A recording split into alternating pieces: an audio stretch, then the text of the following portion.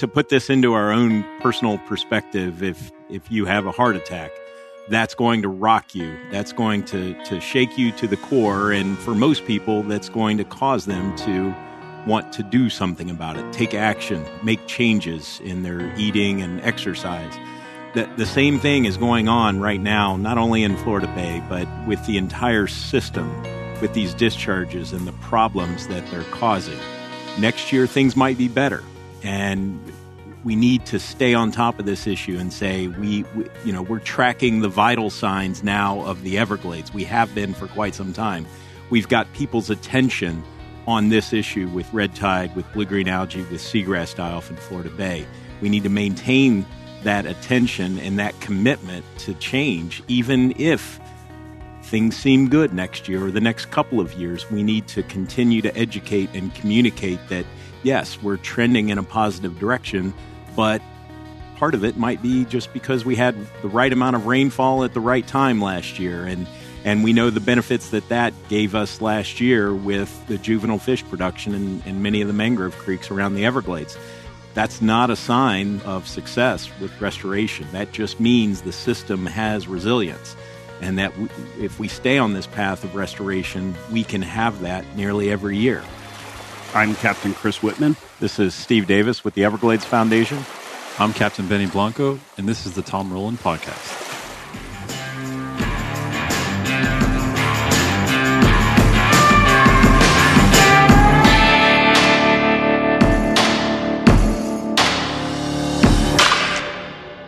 the weeks just keep ticking by, and every week we're uploading new stuff to waypointtv.com. Our new shows for 2019 are hitting Waypoint before the networks. Not only us, some other producers are doing the same thing, and more and more stuff is coming. So go to waypointtv.com and you can find all of your best favorite hunting and fishing content, plus so much more. There's podcasts now. Waypoint TV has the Waypoint Collective Podcast Network. And lots of people are joining up over there, bringing together lots of voices of leadership, conservation, and fishing techniques, hunting techniques. All kinds of people are joining up. So make sure to check out that anywhere you find podcasts, Waypoint Collective. And also, they have some really cool social media that I've been looking at a lot waypointtv.fishing, waypointtv.boating, waypointtv.hunting, and the anchor site Waypoint TV on Instagram. Those are all on Instagram. All right. We have another great show about the water issue in Florida and all of our hopes and dreams and aspirations that the new governor is going to lead us to recovery and and so far there have been some big steps taken thanks to the work of Captains for Clean Water, other organizations like the Everglades Foundation, and so many other people who have put in a tremendous amount of time and effort on this issue. Today we have Captain Chris Whitman, one of the founders of Captains for Clean Water. We also have Captain Benny Blanco, who has been on the show before and we also have Steve Davis from the Everglades Foundation. And it's really great to be sitting around a table with these guys who have so much more experience in this arena than I do. I was able to ask a lot of questions. I think they're going to be a lot of the same questions that you might have. So hopefully, you will gain as much out of this conversation about the water issues in Florida and the new leadership in Florida and how that's all going to come together to really make a big, big difference in uh, in the recovery efforts for the Everglades. So there's so much hope right now. Everybody is positive and really full of hope that we are really making a difference. So I hope you'll enjoy this conversation with Steve Davis from the Everglades Foundation, Chris Whitman from Captains for Clean Water, and Captain Benny Blanco. So we're sitting here at Hawks Cay, and I appreciate you guys uh, spending spending an hour or so with us. I'm really looking forward to uh, to talking about what's going on with the Everglades because we've got a lot of really exciting things. We got new leadership in in the state of, of Florida, and I really want to talk about what that means to us as people who love the Everglades. So with me, I have Steve Davis from the Everglades Foundation. I have Benny Blanco, which we've done a podcast with him before, and I have Chris Whitman, who is who is um, uh, one of the founders of Captains for Clean Water. So, um, just I'd like to get kind of your your story a little bit, so people know who we're talking to. And um, Steve, what what brings you to Hawks Cay this weekend? Well, I'm uh, an ecologist with the Everglades Foundation. I've been working for the foundation for almost 10 years now. Uh, I come at this um, sort of arena with an academic science background. I started working as a graduate student in Florida Bay in 1995. Uh, and that was on the heels of uh, a pretty massive seagrass die off. And so my project was sort of developed around that thinking of Everglades restoration, understanding that the bay needs more freshwater flow. So I was on an academic career path. I was a professor at Texas A&M University for uh, about 10 years. Uh, still doing Everglades science, but also focusing on coastal water issues in the state of Texas, looking at environmental flow recommendations for estuaries and trying to understand the habitats along the Texas coast. So that's interesting. When you first got started, was was was the Everglades and and that direction a, a result of of the the problem? You said you came right on the heels of it. So were you just kind of ushered over there, or did you have an interest in that and and kind of moved in that direction yourself? I, admittedly, I was ignorant about the Everglades. I w- what I knew of the Everglades coming from Ohio was what I saw in my grandfather's National Geographic yeah. magazines uh, to me, it was just this wild place that I had to see. And uh, to have an opportunity as a graduate student to come down and, and work in the Everglades, I was willing to take any project that was available. Right. This was a project uh, that I stepped into, funded by the South Florida Water Management District. Uh, when I was at Florida International University. So we had a number of colleagues on the project and colleagues that I still work with today in the Water Management District and at FIU that um, sort of we cut our teeth really on understanding the benefits of freshwater inflow to uh, Taylor Slough, Shark River Slough, Florida Bay. It's interesting because so much of of what I have talked about so much in, in, in learning about this since I've I've become more familiar with with captains and the work that they've done. It, it ha- I've learned a lot more about the Caloosahatchee. In my world, uh, you know, we leave out of here right out of Hawks Cay and go to the Everglades. So the issues that we're having in the Everglades, uh, in my world, are different than the issues that you're having that are Everglades focused that are Caloosahatchee. I mean, one is too much water, another is not enough water. So I'm really interested in talking to you about that. Um, and then, so your career from from that point to today has has been what more Everglades? Have you gotten off of the Everglades and I, done other projects? I'm or? entirely Everglades. Okay. I I, um, I, I still uh, collaborate with scientists. I still get to do a little bit of science in the field, which is great. So I'm publishing papers and uh, working with graduate students, and uh, that, that's really where the the new knowledge is generated. So to be able to participate in that new knowledge generation, as well as being able to engage different stakeholder groups, elected officials, to to educate them about why this is important. It's a it's really a way of bridging the knowledge as it's being gained to the people that are actually making the decisions. So it's it's been very rewarding. And how long have you been with the Everglades Foundation? Uh, it'll Sorry. be ten years. Okay, in, ten years in June. Cool. And um, and then we have Benny Blanco. Um, Hi Tom. Good to see you. Been filming your show. I have. Good. Thanks for having Good. me again. Yeah, we're looking forward to seeing your show and and uh, you know tell tell me about about the show because it is focused on on exactly what we're talking about here, right? I mean that is the underlying theme of your show? It is. The the only reason I agreed to do a show was that we were going to base it solely on the quality and the issues surrounding our water in the state of Florida. Um, it's not solely Everglades National Park. I, I, I, wish it was, but the reality is, our we have to talk about the water quality issues in the state of Florida as a whole, because it's not just Everglades suffering. We literally have every single fishery in the state of Florida is suffering from some water issue or another. And um, and my uh, my idea there was that if if we could expand the conversation outside of just the fishing industry, because the fishing the fishermen know there's a water issue. Every guide worth his weight in salt understands there's a major problem um, in their fishery and the fisheries surrounding their fisheries. And um, but outside of that industry, there there is no real recognition that there's a problem. And I'll use ICAST as an, an example. Uh, two years ago, we were at ICAST and we were talking about the water issues, and um, we walked outside of the the the, uh, the, convention center in Orlando. We found someone on the street just, street just walking by and asked them what they thought of the water issues in the state of Florida, and they said, "Well, we just came back from the beach and it was beautiful." And uh, so there is definitely an issue with just general knowledge of the problem. And so I agreed to do the show with the sole purpose of expanding that conversation. If we can take the conversation about our water issues and make it a household conversation, then we can see real change soon. Mm-hmm. And that's my whole concept. And so um, we are filming. Um, I'm leaning on the biggest voices in the industry uh, because people are going to get tired of hearing me talk about water. I think because they already are. Um, and um, and we're going to rely on big voices to to explain the issues in their specific areas, and we're going to tell the stories of those areas so that people can understand that it's not just their issue, it's not just their area, that it's a state of Florida problem, and uh, the sooner we get together to fix it, the sooner we can see actual change. That's great, man.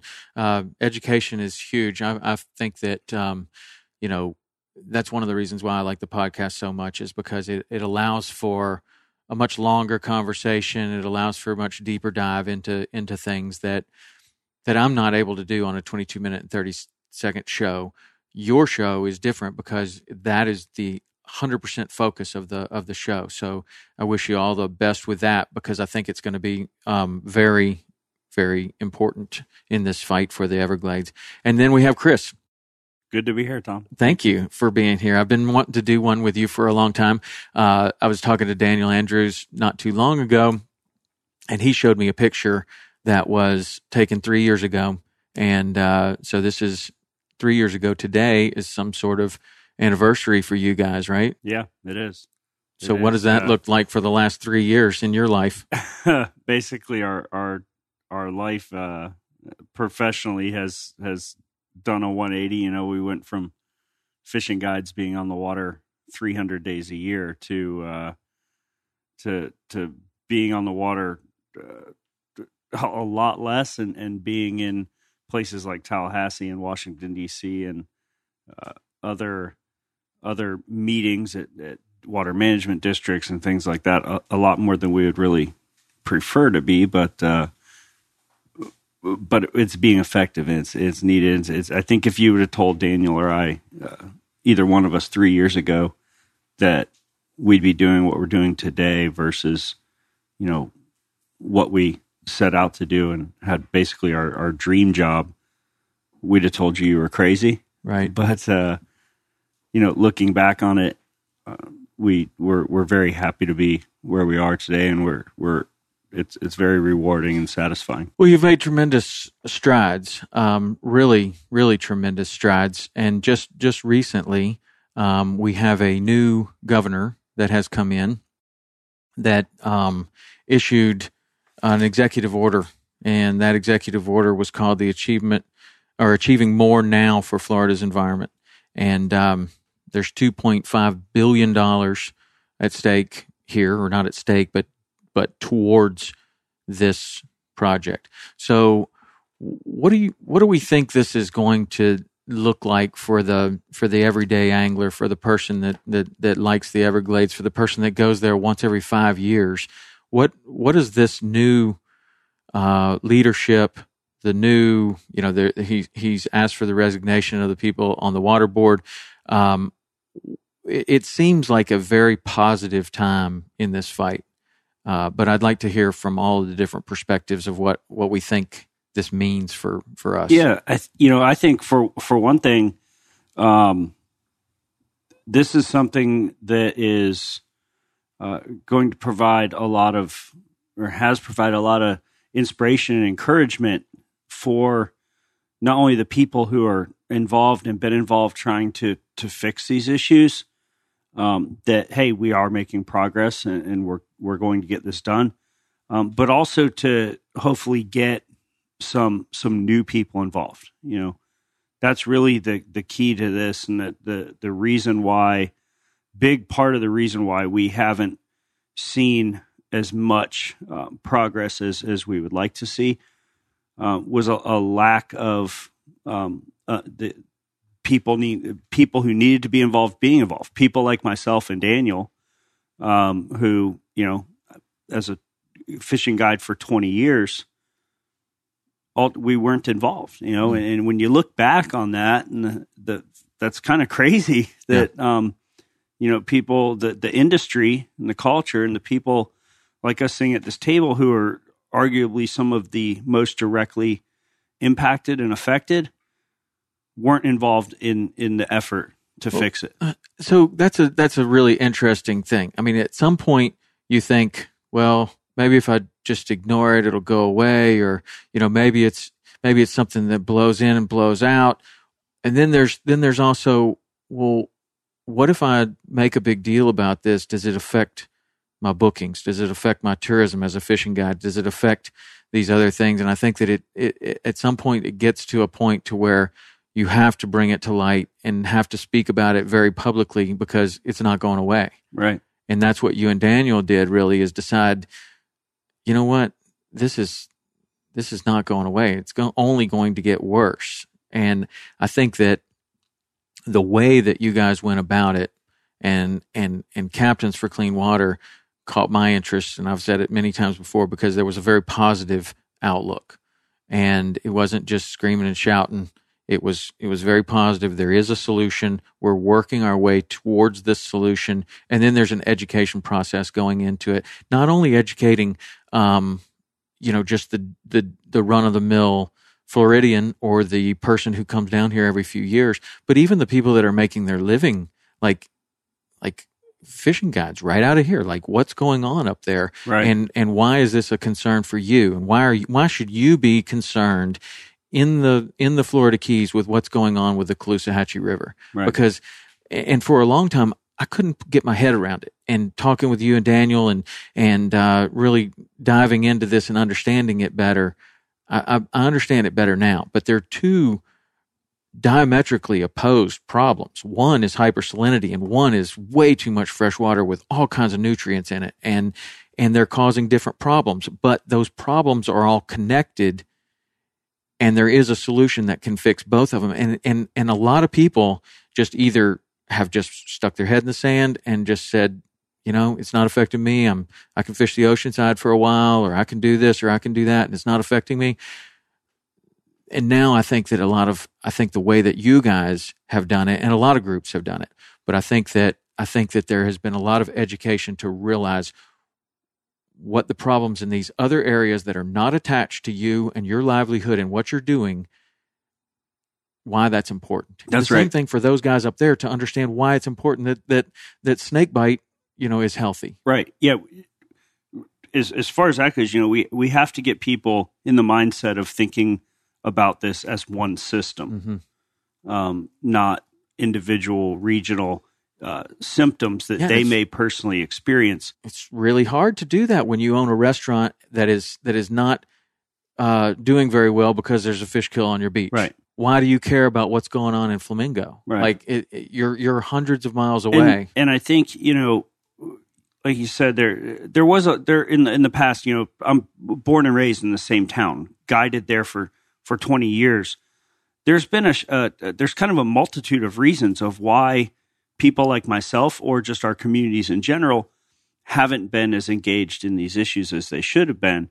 Um, some of it uh, was that just the fear of um, you know the the repercussions to their business, but a lot of it, and I think the majority of it, was more so the the feeling of um, that this is a, a, a problem so much bigger than me as a fishing guide or a hotel owner or a bartender, whatever your your career is, um, c- can affect. You know, what what can I possibly do? I'm just a, a fishing guide. This is this this huge thing, um, and really that feeling boiled down to or stemmed from a lack of understanding of what the the solutions were really Um, that that feeling is what caused Daniel and I to start Captains for Clean Water. I mean, when we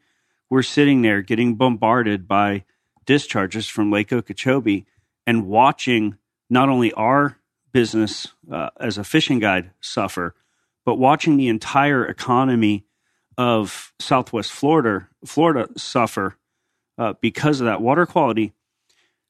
We we really at that point realized that something needed to be done. We needed to get stakeholders that weren't involved involved, and um, we looked at ourselves to to see why we hadn't been involved, hadn't been mm-hmm. involved.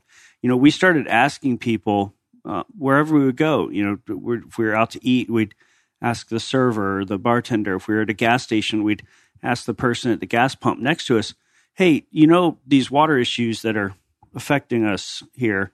Oh yeah, you know, and and the stuff that's visual, they see it, and you'd ask them, "Well, well, why is that? What, what do you know why that's happening, or or what needs to be done to fix it?"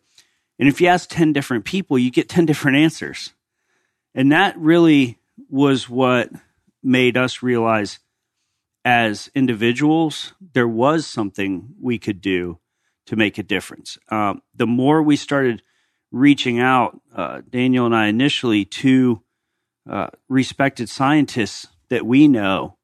Um, you know, one of the first people we called was Dr. Aaron Adams with Bonefish and Tarpon Trust, and um, you know, we we got to talk with people like Steve Davis with the foundation, and what we realized was there's plenty of science that that that says this is what needs to be done to fix this and this is why these components of this one singular system are suffering or this is why you're seeing these individual symptoms.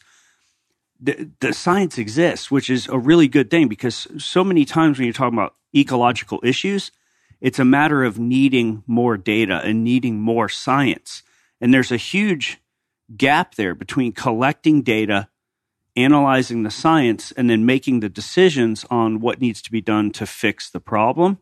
This is, we're in a fortunate situation. That's not the case here. The, the overwhelming science is known, the action is known, the solution is known. So, really, what it was was a, a fact of getting that knowledge, getting the science and the solutions that science supports into uh, and to, to the people, to the stakeholders. And by doing so, if we would do that, that we would be able to activate those stakeholders to be engaged in the fight to save these things. And and that's on, that's literally why Captain started and how it started as is just that gap to get uh, the information that that people like Steve have out to the people like me and you. Mm-hmm. And and and the and, and the purpose for doing so is is to get us engaged in the fight to save the Everglades.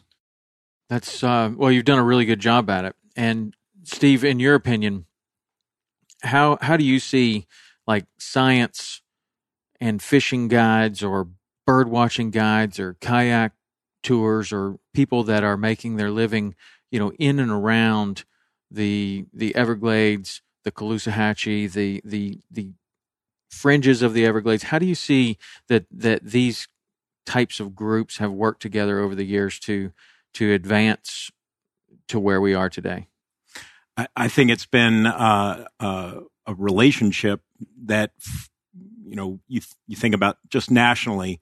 Um, I, I I don't think that other areas have the same kind of relationship that we have in places like Florida Bay. Florida Bay is a unique system in that you don't have this massive population living around it like you do, say, with the the Caloosahatchee or St. Lucie, those areas where when the water comes from the lake and you see blue green algae, everybody sees it. In some cases, it's in your backyard. Right. When we have problems in Florida Bay, um, we don't have scientists on the water every single day.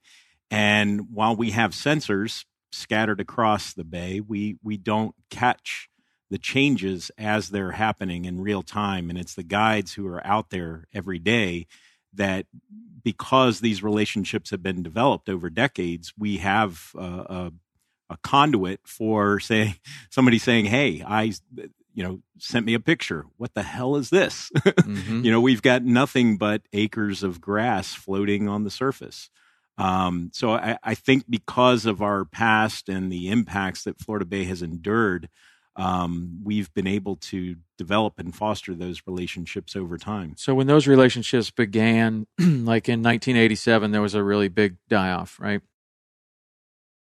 Was there a, a, a good line of communication then where, or, or, or are the scientists just kind of hearing rumblings and people kind of like, I don't know what this is. And there weren't cell phones back then. You couldn't get, you couldn't get somebody weren't, wasn't texting you a photo saying, what the hell is this?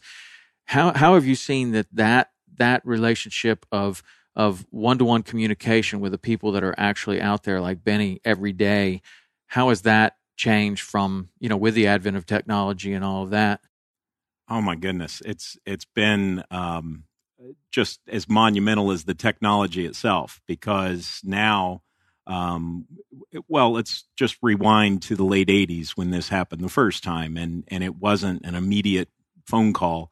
Uh, it was because there were scientists working down here in the Keys, spending a lot of their time on the bay, counting seagrass blades and poking holes and and doing what seagrass scientists do. And and it took relationships that they had developed with a few flats guides to to you know strike up a conversation to say something's going on out here. You know, I have a, a, a description of it that I would like to share with you, or some notes, or maybe a photo.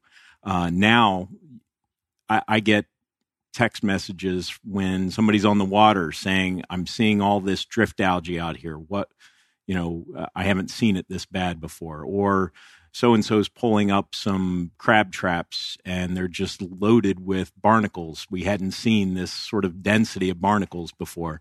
And so now having that real time information, it's it's as valuable as being able to go to NOAA's website and pull up the salinity for Garfield Bight. It, it's it's incredibly impactful and helps us to stay on top of changes as they're occurring. does it matter to scientists how this type of information is is acquired like you know there's a scientific method to to create you know to to getting things getting evidence of something happening. Does it matter?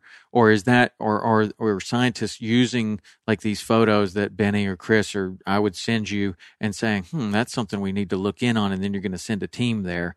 Is that what goes on? Or are people like oh well we know what that is now after all of these years how do how does that work That that's a great question, and it speaks to the value of qualitative information versus quantitative information. And you're right, as scientists, we like to have things very controlled and and you know with the use of statistics to be able to defend you know our conclusions about the observations that we make or that others make.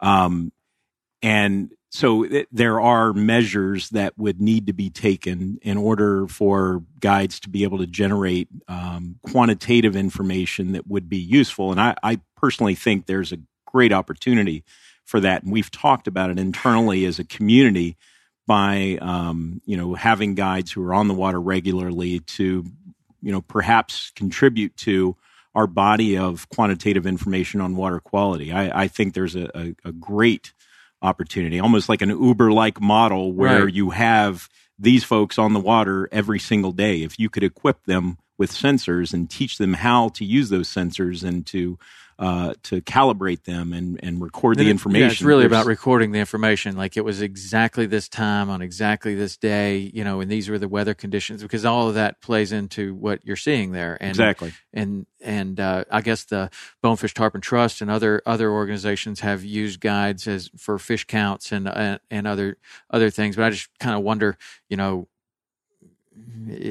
is that scientifically based collection? Like, and and what you're saying is it could be. It's not right now, but it could be. and and it doesn't necessarily have to be because sometimes the photos allow us to say okay maybe we need to focus our sampling in that area uh, another example uh, steve friedman uh, with the florida keys guides association sent me a couple of pictures last year from his canal and the water was purple and he just, hey doc, what's going on out here? And and as soon as I saw the pictures, I knew I had a really good sense of what was going on. And sure enough, it was uh, Hurricane Irma loaded a lot of organic matter, and you know, with the storms, you get a lot of debris from the trees and sometimes construction materials. These canals fill up, and that stuff degrades. It changes the quality of water, and it feeds bacteria that actually can turn the water purple. So I was able to tell him what was going on just by looking at the photo, and and it it raised enough of uh, concern in the county that I was able to appear before the Monroe County Commission and brief them on some things that they might want to be looking out for in terms of very low oxygen levels in some of the canals. And sure enough, they were on top of it, and they had been trying to acquire funds to clean out the canals, and uh, that's obviously a, a lingering issue down here. But uh, it's it's helpful. Yeah, those canals. It's interesting. I see I see you know articles and stuff. They're pulling every manner of things out of the canals, and and some of which did not come from Irma, probably came from Wilma, and and even previous storms to that. And somebody might have just dumped a refrigerator in there at one point, you know, a long time ago. But they're getting a lot of that stuff out, and then I know that's been a a big um, a big project lately. Um, so I guess what I'd like to see and know from from this this group of people that has a tremendous amount of knowledge both from the scientific and from the real world actually being out there is is now that we have this change of of leadership with the new governor and it seems that he is placing this at a priority for I mean in the first 48 hours he did he he made some sweeping changes. So what is it that that we all see around this table as the things that need to happen to make a difference in the Everglades? You know, I, I well, I think what we need to see happen to make a difference in the Everglades is more of what we've seen happen in the last year or two years or so.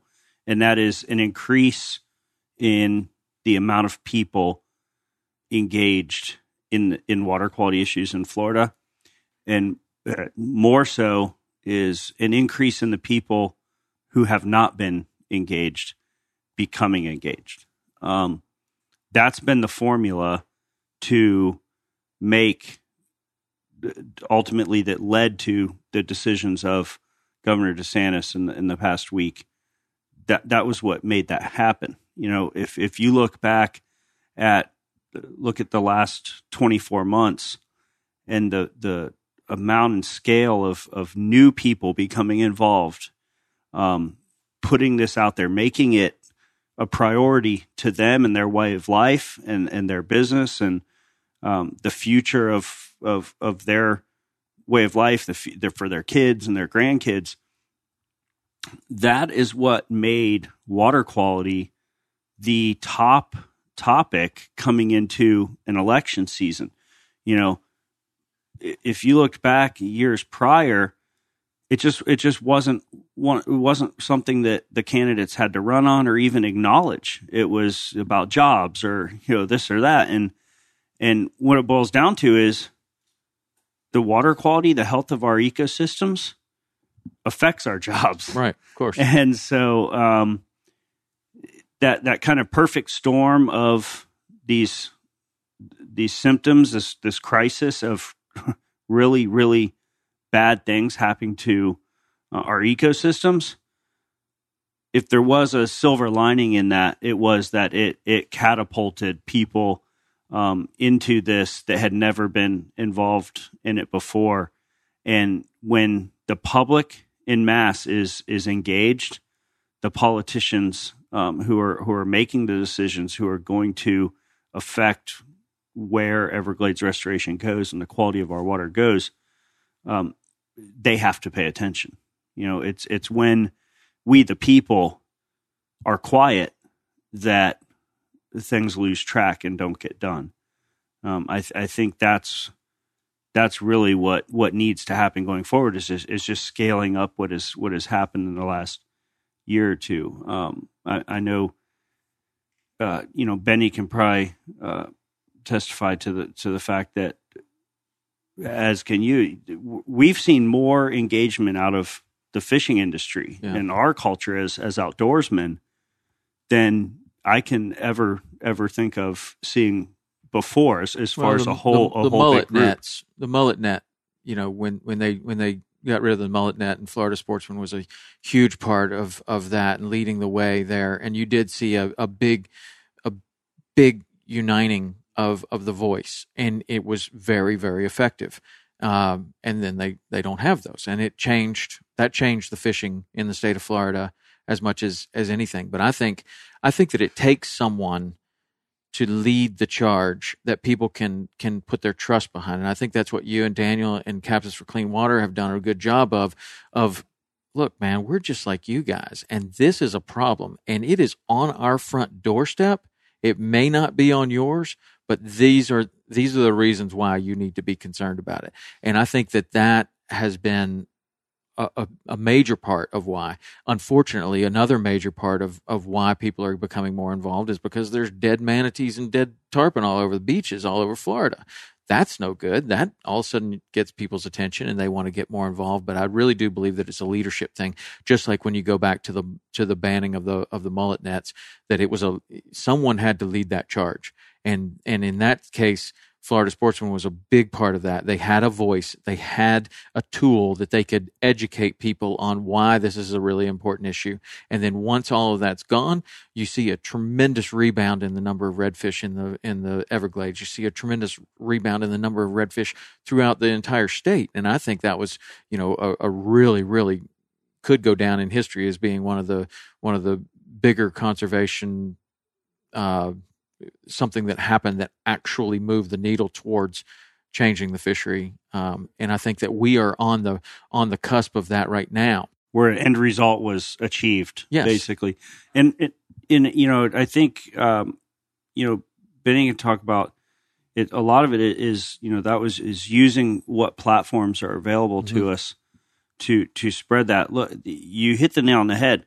It you you shouldn't have to be a fisherman in the Everglades to care about the Everglades. You know, I I I don't have to live in Alaska to care about Pebble Mine. Mm-hmm. I don't have to live in you know Wyoming to care about Yellowstone.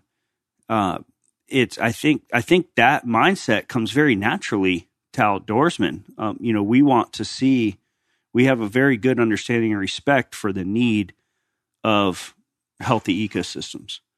Um, the the the role that we can play uh, as as fishermen and outdoorsmen is is is really catapulting that outside to other audiences, Mhm. whether it's through TV shows like Mhm. yours or you know when you talk about the net ban, how Florida Sportsman was able to use their publication as as a big medium to spread that information. Today, here we are, not very far after that. We have things at our disposal with social media. You know, I mean, um, Benny uh, and, and w- with Florida Sportsman is has started a, a TV show specifically for that purpose to bring these issues um, into the living rooms of people who may not think that it's important to them, and hopefully after uh, being exposed to that, um, that they realize that it is. And and I think as fishing guides, that's a big part of what we do, right? We're, we're guides because we want to share what is special about our office with other people. And and what happens is those people can come and spend a day in the Everglades with Benny and have a moment in in that day that literally will will hang with them for the rest of their life and through that experience they gain a love and respect for that place and result of that is they want to be part in ensuring that that place is is protected for the future How how have you seen that, Benny, with with your current clientele and what you're doing, and and you know, like Captains for Clean Water wasn't even around three years ago, right? Right. So in the in the course of the last 36 months, as you become more involved, you're talking to your customers more on the boat. How have you seen that um, translate into those people giving their time, giving their money, giving their attention? Giving their political clout or their social media accounts or whatever it may be, how have you seen that kind of translate? Well, 2015 was a was a big year in transition for me because I, I went from being a guide in Everglades National Park to understanding there is a huge problem that we have to fix. And um, there was two ways to go in that in that respect. One was to put my head in the sand Mm-hmm. and just continue guiding and working on my day to day because it's really easy from a guide's perspective. Guides don't make a lot of money, even if you're on the water every day. You don't make a lot of money. and It's easy to get stuck in your day to day. You're worried about where the next charter is going to come from, wh- whether your next charter is going to catch fish, and it's easy to not look at the big picture. But the big picture is that a all of our fisheries are are attached, are connected. Uh, my fishery is not solely the one in trouble. Chris's is in trouble. Yours is in trouble. Daniel's is in trouble, and we're it's one continuous fishery, uh, one continuous water issue, one sole problem that we have to fix, and and two that that that the the we have to continue making it a priority because it's easy for politicians like they have for the last several decades to to not make it a priority. Um, and what we've what we've seen happen in the last three years is in that 36 months is that we've all stood up, spoken up, made it a priority for this election, for this new governor coming in. I mean, if we continue that path and make it a, continuing making it a priority, then we can see real change. Um, and so that's 2015 was a big year for me as far as my life, my career, because again, I realized that it was something bigger than than just you know an issue in my fishery, um, and I chose the methodology of educating my clients uh, as I became educated. Because again, I I was just a fishing guide. Um, I became educated, and I educated them. And what's amazing and, and unexpected was that they've become the biggest advocates. They're members of every single organization that's been fighting for this. Not because I told them to, but because they want to know more they want to get involved and they want to save that fishery that they love as much as we love. They don't want to hear me say one day, sorry, can't go to the glades today because just there's no fish. That would be devastation for them. So um, it's going back to what I was saying about guides and it being easy to go to day to day. If if you get in that stuck in that day to day grind and you don't educate your clients and you're you're of the methodology of not speaking about it because oh my god they may not come back, then then you you're you're being way too short sighted about what the issue is. Uh, it's an opportunity for you to educate someone who could potentially be a proponent, who could be a supporter, who could help us get to that next level. And um, that it's it, it, you have to look at every chance to educate a client or a neighbor or a community member or a family member as an opportunity to to gain someone in the fight. Does that make sense? Yeah, yeah, it certainly does. does anybody think that that as we make progress and things start to happen and you get leadership involved that as things start to happen that it becomes more challenging to get people involved because they think well there are no more dead fish on the beach you know? They're they're not releasing that water out of the river anymore. Um, does that become more difficult or more challenging than when there's an immediate it seems like to me it seems like you know if you got red tide and people can't breathe when they go outside and there's there's dead fish on the beach, you're getting that person involved. That's a that's Sure. like the easiest sell there is. Yeah. But when things are good and making an improvement, we still need that that support. No, I think I think that's that's been a, a challenge all along. As long as people have been fighting for Everglades restoration, that's been one of the biggest hurdles. Is it's it's real easy for people to be engaged when the symptoms are in their face and they can't ignore it. Uh, it's when the symptoms go away, but the problem still exists. The problem's still there until we fix it. The problem's there, whether you see a symptom or not. It's when those symptoms go away keeping those people engaged and, and keeping them from becoming complacent is one of the real challenges. And that is where um, education comes in. That's where the, the information that Steve has as a scientist, being able to put that out to as many people as possible in a in a, a format that they can absorb and digest mm-hmm. So that they understand it. That's that's if they understand that, they have that education, they're going to be more likely to be engaged whether there's symptoms in front of their face or not. so how do you how how do you plan on doing that, Steve? Well, I, I think that we, we, as Chris was saying, we have to use this as an education opportunity. We have to take advantage of it. And uh, to, to put this into our own personal perspective, if if you have a heart attack, um, that's going to rock you. That's going to to shake you to the core, and for most people, that's going to cause them to want to do something about it, take action, make changes in their eating and exercise. That the same thing is going on right now, not only in Florida Bay, but with the entire system, with these discharges and the problems that they're causing. Um, next year, things might be better, and we need to stay on top of this issue and say we, we, you know we're tracking the vital signs now of the Everglades. We have been for quite some time. We've got people's attention on this issue with red tide, with blue green algae, with seagrass die off in Florida Bay. We need to maintain that attention and that commitment to change, even if things seem good next year or the next couple of years. We need to continue to educate and communicate that, yes, we're trending in a positive direction, but part of it might be just because we had the right amount of rainfall at the right time last year, and Yeah. and we know the benefits that that uh, gave us last year with the the, the juvenile fish production in, in many of the mangrove creeks around the Everglades.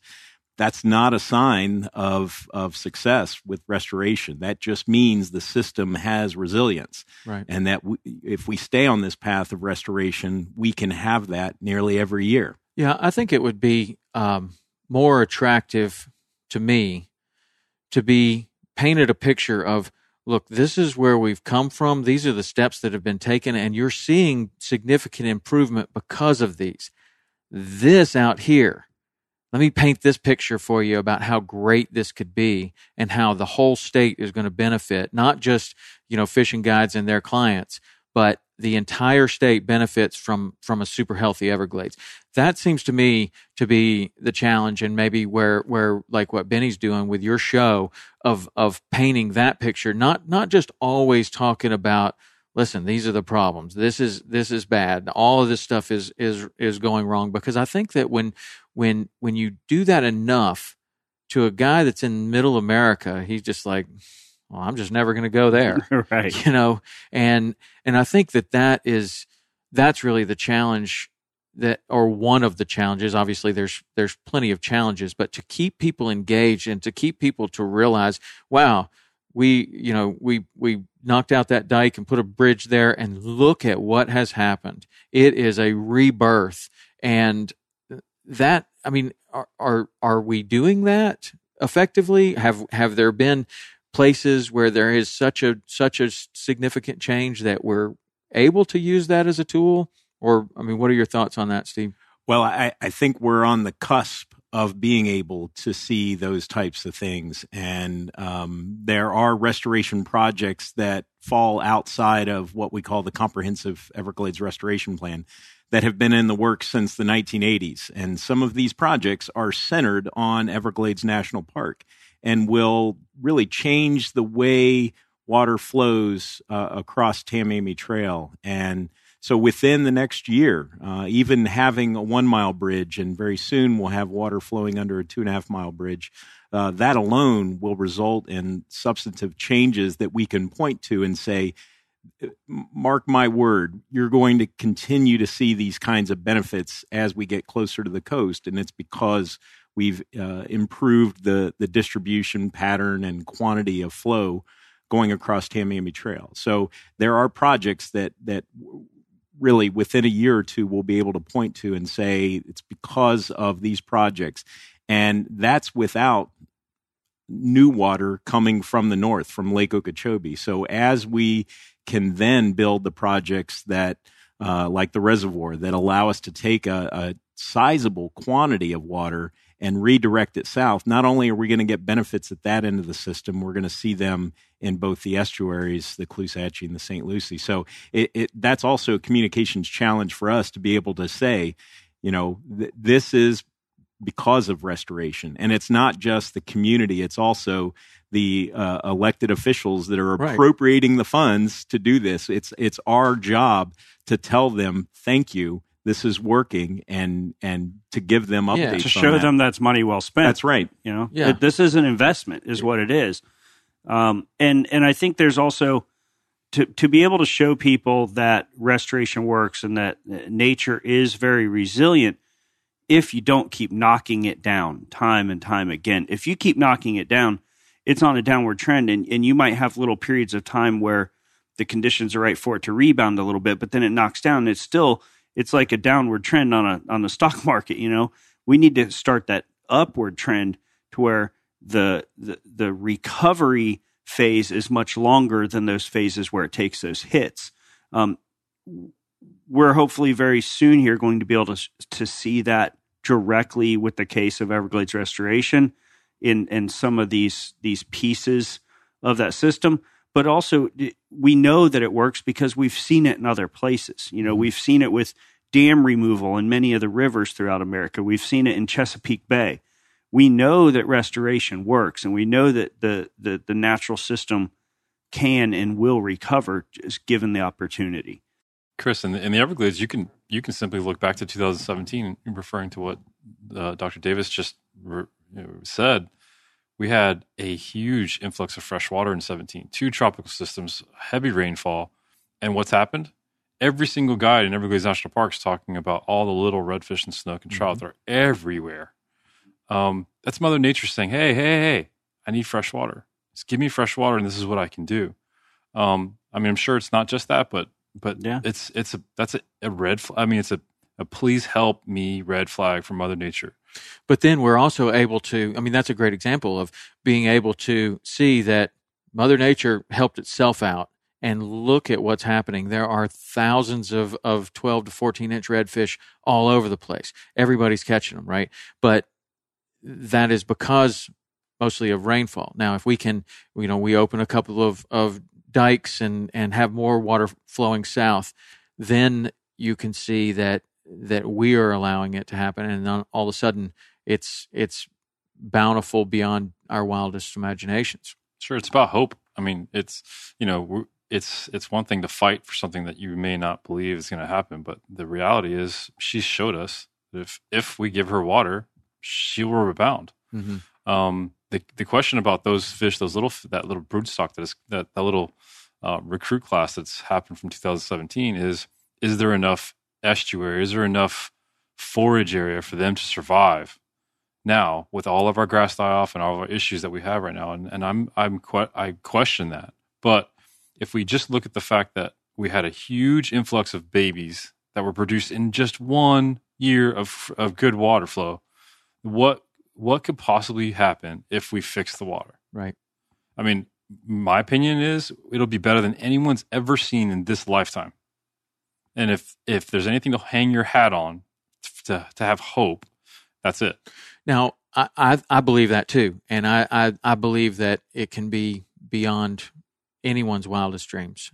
Um, the populations of every fish there can can go through the roof, but I think that in my opinion, the way that you you know our you as a fishing guide need to continue to educate your your people and show them that look at all these little fish. This is because this happened and this is where we're going. This is because it happened and this is where we're going. But in order to to lead up and down the chain that's leading down the chain of you know to your your customers. To lead up the chain is to be be talking all the way to the governor level of look, this has happened, and this is the financial difference in the state of Florida. I mean, because you opened these things up and spent $5 million, $10 million here, look at all these businesses just flourishing. Look at the real yeah. estate values going through the roof. Look at this now double down.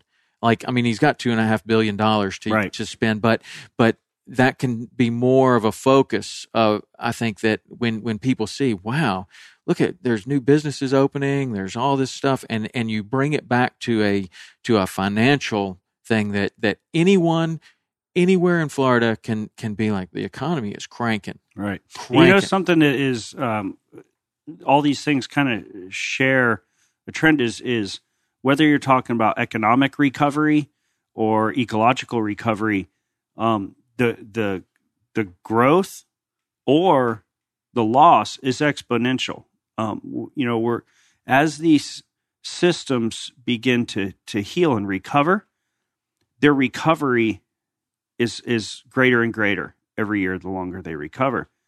Um, and and and our economy follow that as we know these things affect our economy. So as our as these as these systems can recover, it spurs more business, and that business compounds.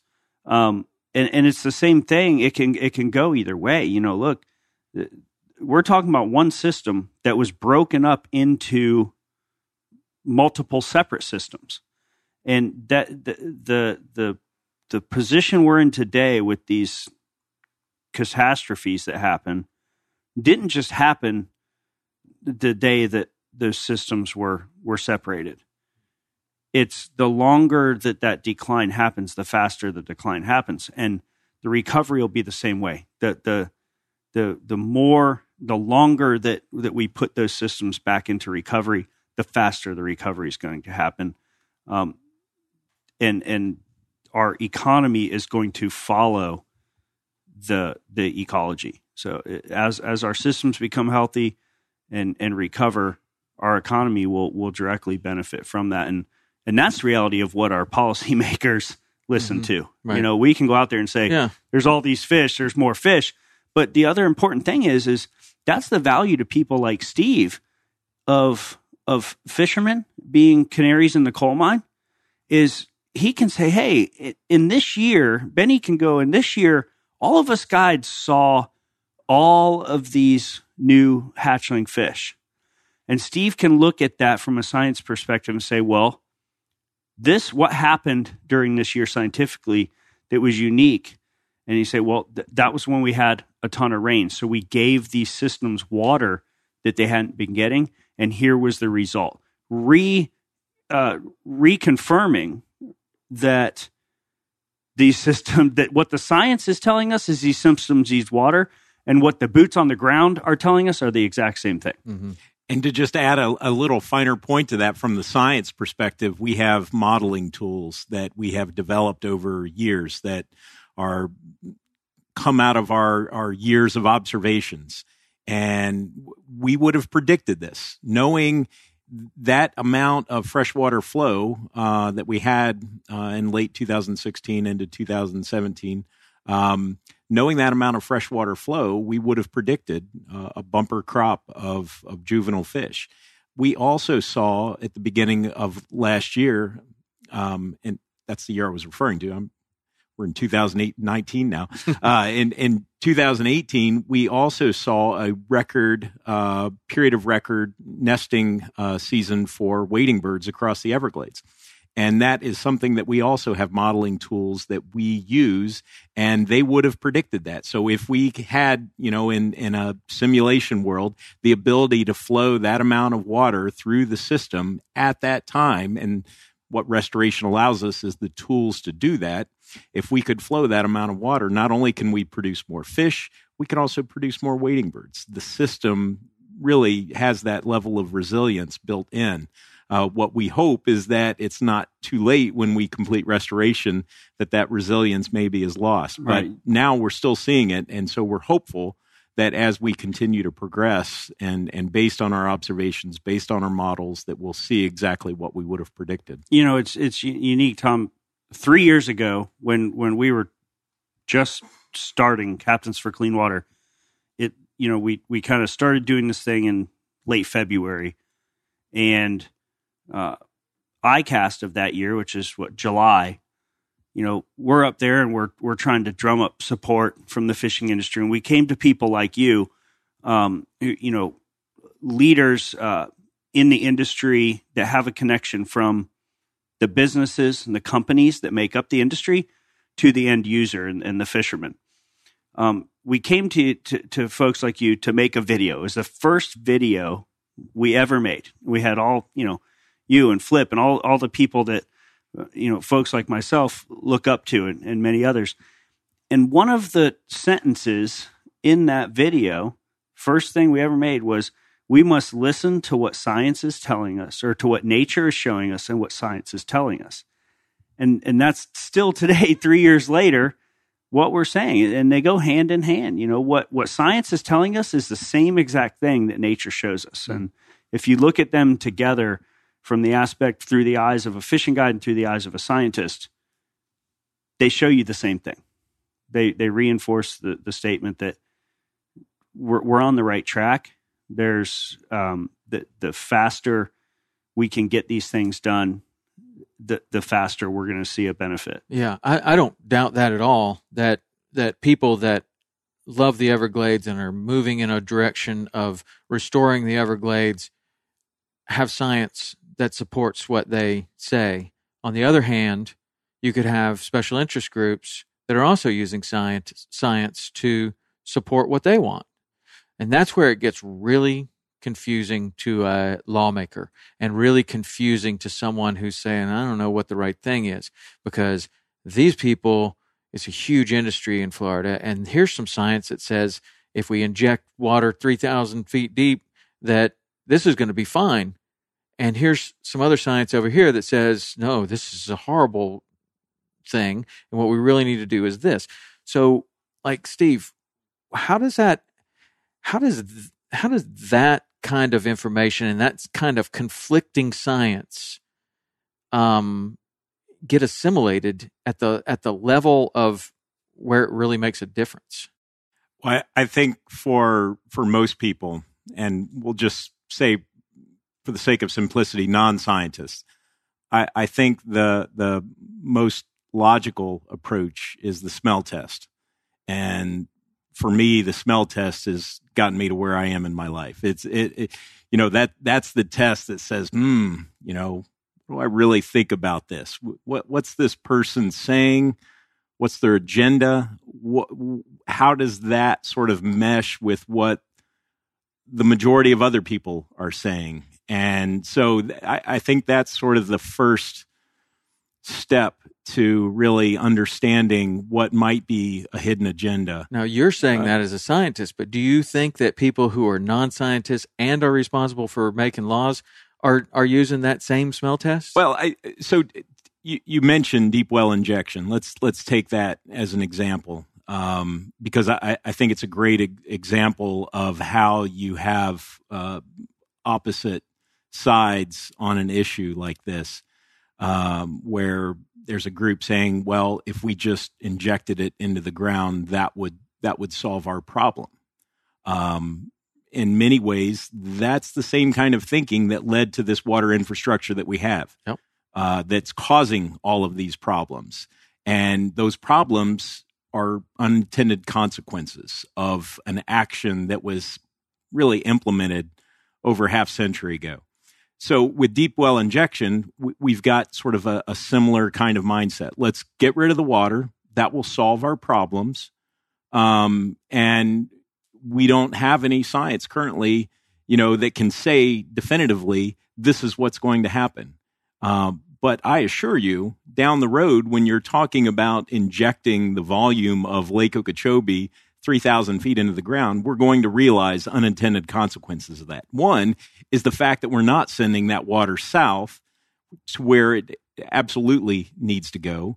Um, another thing is that we're wasting a precious resource, fresh water, uh, and and on a scale that you know just boggles the mind that that we would need to be able to get rid of. Um, and so you think about other states hand, and other regions that need fresh water. Right. So w- when you start weighing all of these things, and it doesn't take a scientist to weigh that, I, I think you can start to question intent.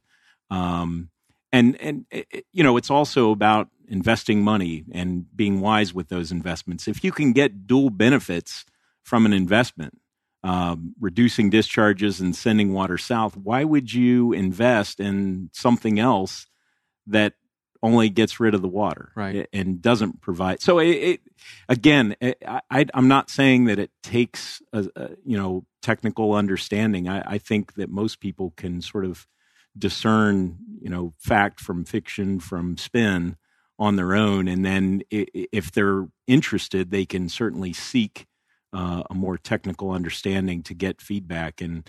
Um, the more people you talk to, I think people get a consensus on this. Yeah. Yeah. Well, it's just uh, you know, I can I can believe that there's a lot of people that can get the consensus, but it's the it's the few people that actually make the policy that that are the ones that you know, do they are they doing what you're saying? I don't know. It just doesn't seem like it's ever a good idea to me and I'm no scientist by any stretch of the imagination, but it never seems like you can shortcut nature and benefit.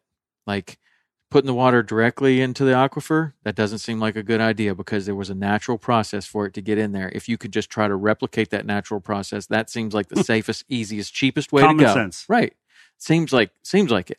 But then somebody else, I mean, I can I could see the arguments. Like this was all new to me just earlier today, Sure. like the deep water injections. But I could see arguments. Like when I started thinking about it, I was like, well, you dump all that water in those holes and it doesn't go to the beaches. So problem Right. solved. Well, And and and, Problem created. it comes back again to us uh, raising the level of understanding and education on these issues and on the solutions to as many people as possible. That's Benny's job as a fishing guide, other than you know give creating an attachment and, and appreciation for these places. Um, that's Steve's job as a scientist. That's my job as an activist. Is to raise the level of understanding and education because if you do that, and people have even a 30,000 foot view of of what these problems are and what the solutions are you get them looking at the solutions um, system wide outside of just their bubble of where they live Mm-hmm. and by doing so the common sense part can come in to weigh whether or not a proposed solution is a good idea or not a good idea, whether or not it's benef- beneficial, whether whether or not we get the biggest bang for our buck as taxpayers, if we're looking at it from a policymaker's point of view. And and part of our education is not just educating the public; it's educating our policymakers. Of course. They're disconnected from this. One of the biggest things They that we've got been a lot to, of things going they on. have They've a- got people knocking on the door. It's, it's a constant flow of people in and out of those offices. That's that's why it's important for us to to stay very singular and focus on these things. If if we were to go into a policymaker's office with fifty different things, we wanted it's the chance of getting all fifty of those things or any one of them is is slim. If we go in there and say this is the most important thing right now, we want this, and then we're gonna we're gonna as as Chris Peterson from Hell's Bay says, we're talking about eating an elephant, and we're gonna do it one bite at a time, and and that's the way you do it. Um, th- that's the key because if if I looked at deep well injection, for example, regionally from my bubble where I live and spend, you know, 300 days a year in Fort Myers, I could come to the conclusion, well, deep well injection might help my area. But if I had a better understanding of the system and I looked at it as a system wide, I say, wait a minute, that's that's not a good idea because that water that Everglades and Florida Bay is starving to get that we know is beneficial based on you know what Benny sees as a fishing guide when we get water to those areas based on what Steve sees as a scientist when his modeling or when he when he monitors these different things when we get water there. That that water by throwing it away underground is is not helping the bottom part of the system. So okay common sense wise then says well that doesn't seem like a very good option. And then if i look at it from a policymaker's point of view and in how what what return on investment am I going to get for for the taxpayer dollar? Am I going to spend hundreds of millions of dollars to throw water away to benefit this one little part of this of the region or the system? Or could I could I put that same hundreds of millions of dollars into solutions that are going to have a benefit to the system as a whole? And then it, it's easy to to kind of if you start looking at things like that, it's easy to determine what is a a good idea with a high return on investment or a, a bad idea with not. But but it all comes back to peeping, people having a little bit higher level of understanding mm-hmm. Yeah. of the system in order to to get to go walk themselves through those processes. That, that's stated much more eloquently than, than and I think what it comes down to is frame the question as is it restoration or is it uh, this path Reaction. of continually sweeping the problem under the rug? So that that question maybe needs to be is it restoration?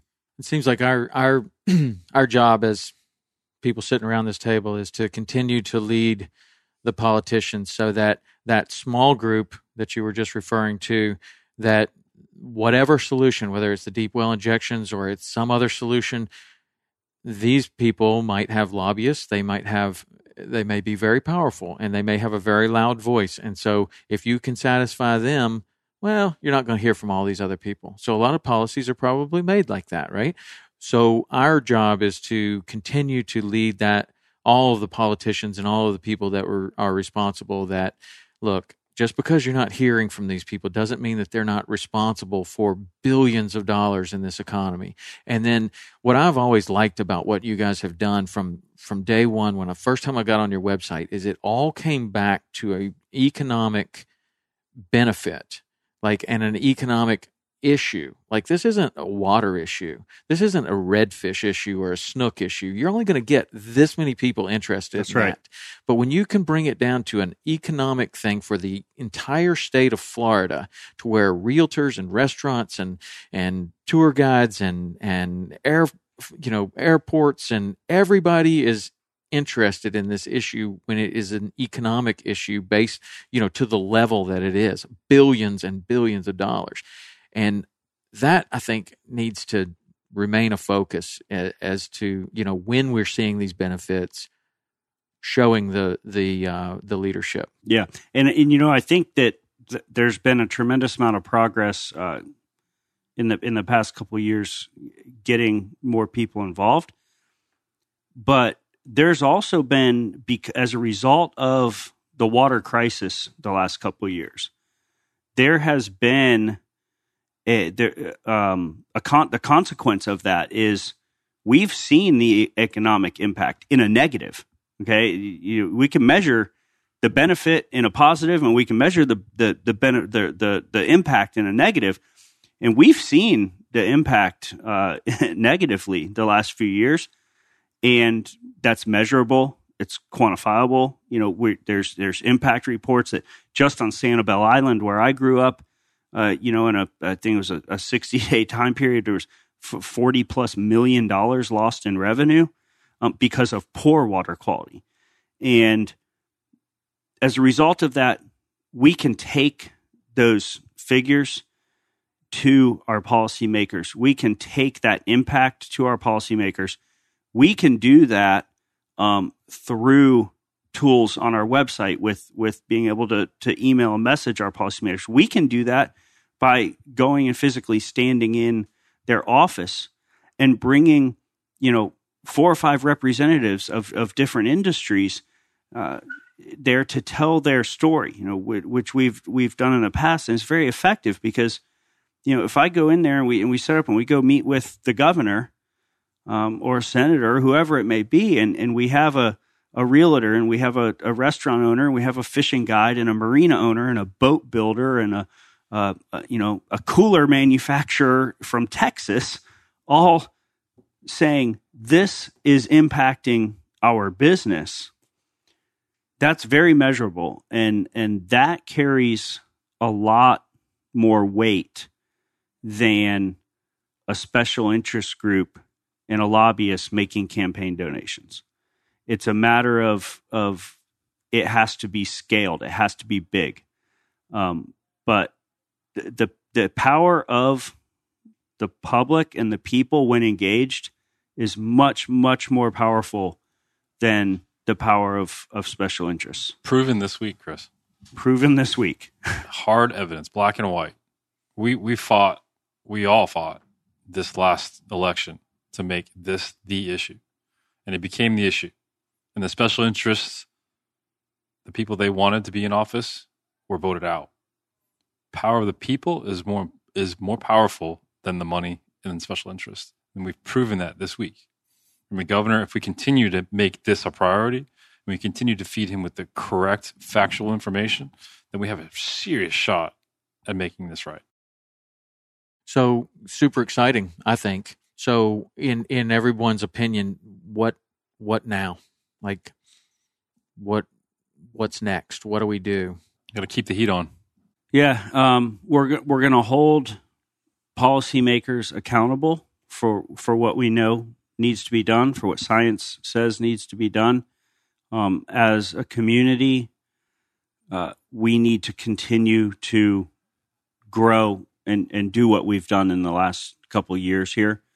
Um, when when I call you up and say, Tom, I need you to send you know go on the website and send an email to your representative we need it to have be programmed in your mind that that you do that to 10 other people and um and we need to keep that that effort of of the people being engaged growing we need more people to have an understanding and appreciation uh, f- for these issues um, so that they they see restoration as an investment in the future of their way of life in the future of their economy and the way to do that is is simply by keeping the conversation going. You know, encouraging people to become a member of Captains for Clean Water, so that we can feed you that information as it happens, um, and we can call on you uh, to make your voice heard when when it's needed.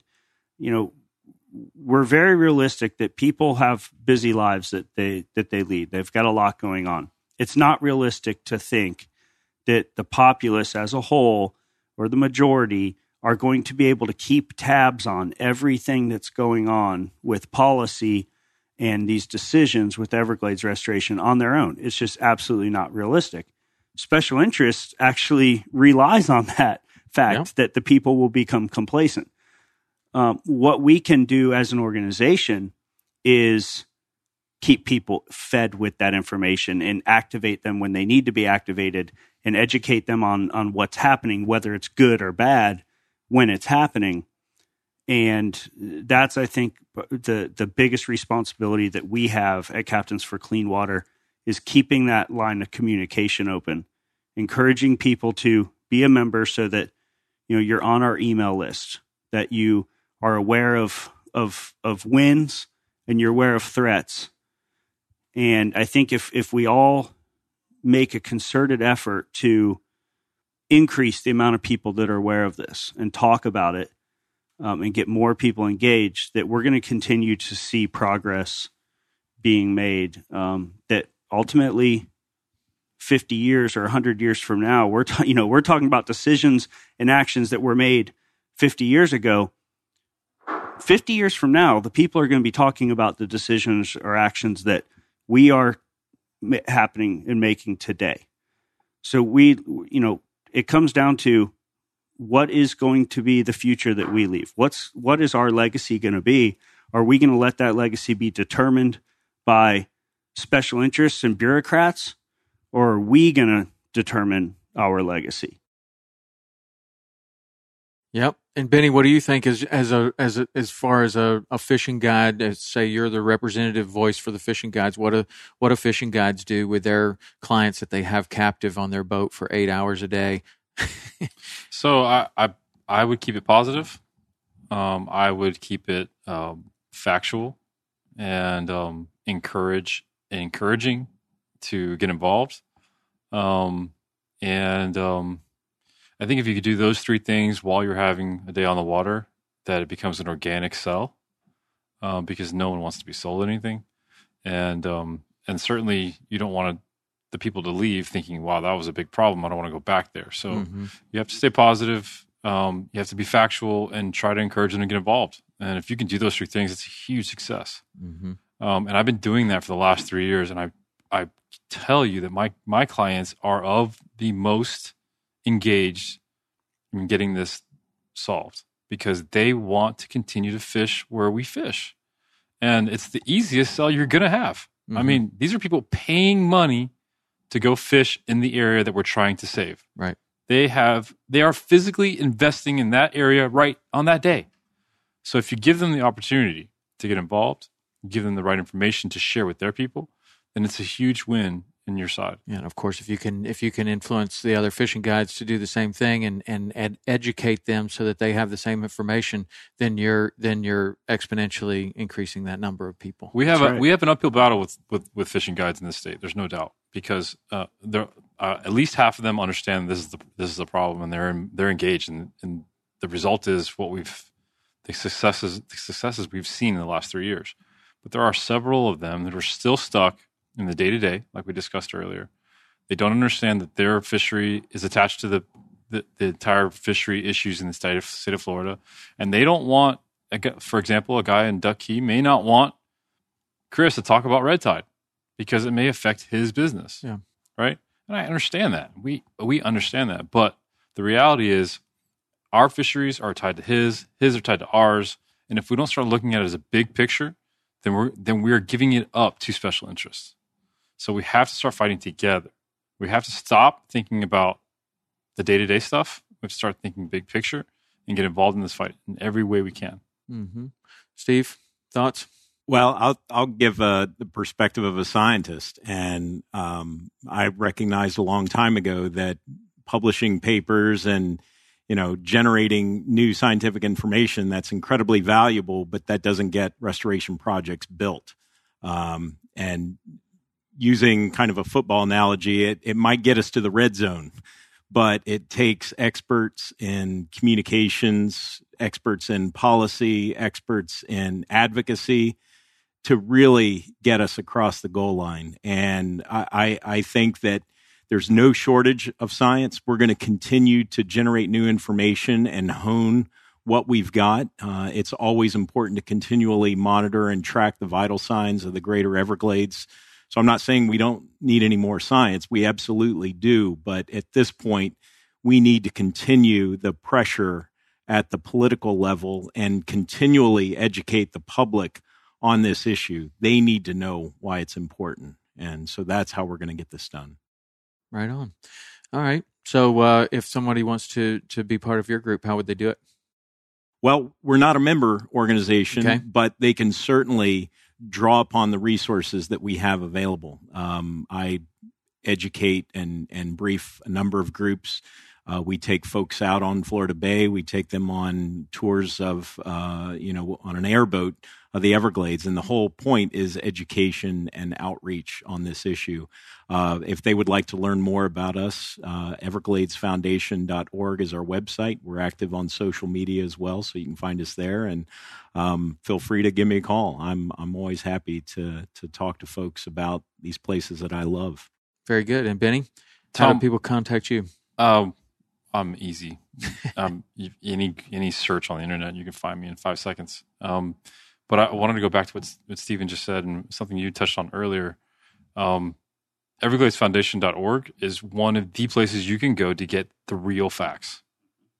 So if you're doing a smell test on some information that you find on the internet and you want to know if it's real, there's one place you can go right away. CaptainsForCleanWater.org is another one it's a, it's important that we as leaders in the industry identify those areas where it's safe to go get information and so um, this is an excellent opportunity for us to relay relay that information rather than call me to go fishing go look up evergladesfoundation.org captainsforcleanwater.org get the right information i think that's as important of a message as we can share today Mhm.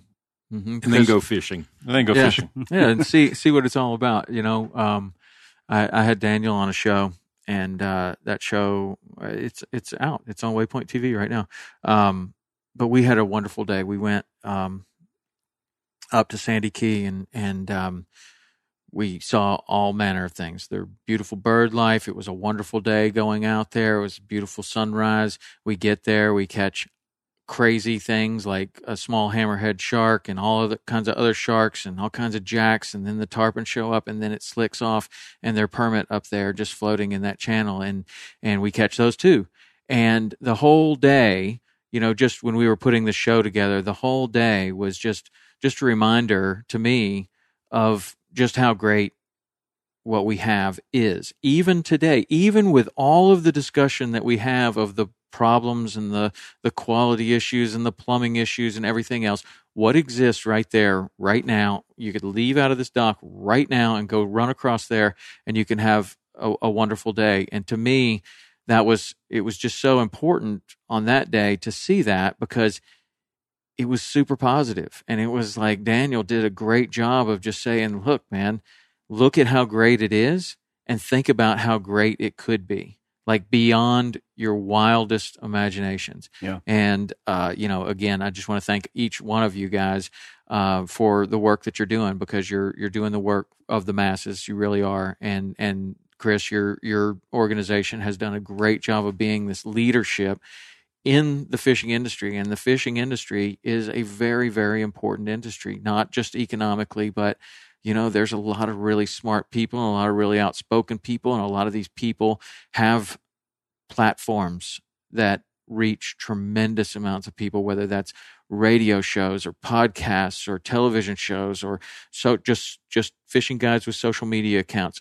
You we now have so many people at our disposal um, that we can contact with whatever message it is that that they want. I encourage all the fishing guides that listen to this podcast to be part of Captains for Clean Water, and if they wanted to do that, what where where do they go and what do they do? Yeah, uh, very simple. Visit captainsforcleanwater.org. Um, and you can go on there, take action. You can become a member. You can watch videos. You can learn more about what we're doing as an organization, what our efforts are, and and you can learn about um, you know folks like Steve and and and what needs to be done. But there's a lot of a lot of resources there. Um, we make it as as simple as as possible. Everything we do, we look at as as trying to appeal to ourselves, you know, as fishermen, and um, so we we try to make those experiences fast and easy. But well, the fastest and easiest thing was there. There was a there was something that went out not too long ago, and there needed to be a letter sent to your your senator or congressman, and you went on there and literally I timed myself, and it was less than thirty seconds. I had done that because when you tell somebody that, you're like. "Ah, you know what the address is or this or that and there's all these excuses but to go there and you see click click click sign done. And it went to who, whoever it was supposed to took the thought completely out of it. The letter was perfectly prepared. You read it and it's like yeah that's what that's those are my concerns. Right, and i'm putting my name on this and boom. And literally within 30 seconds. And i think that's another reason why you're being very very effective is not only are you keeping it positive but you're keeping it very simple. And you're keeping the messages that you need people to act on very very simple and and and it's a very easy call to action rather than you know too many things i think it's the one bite at a time like you said Right. that's that's a great way to to go and a great way to keep it keep it going yeah. We're you know we're, we just try to make it to where it's easy for you to do in between you know work and picking up kids and taking. there's all these things, and and we just look at ourselves and is it realistic? We, we know we need people in this instance to, to email their, their representatives. Is it realistic to just say, hey, email your representative? Right. No.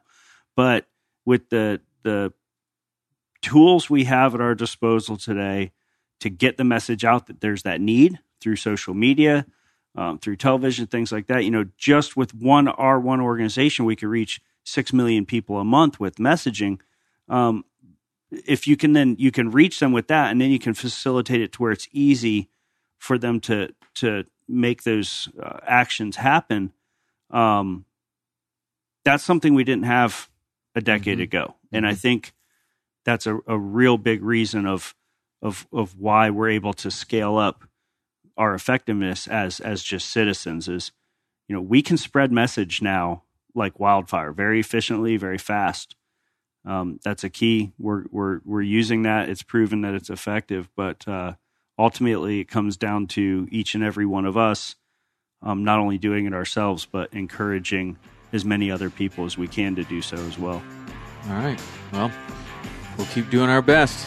I appreciate all all that all of you guys are doing. thank you and, tom uh, thank you We will we will do this again very soon and find out.